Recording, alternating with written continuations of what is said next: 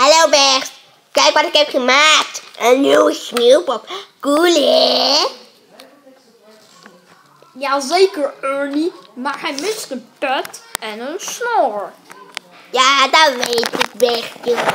Daar moet je werk aan maken, hè?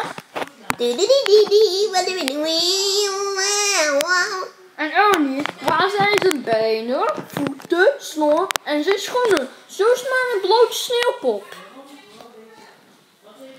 Ga zoeken bij de rommelmarkt.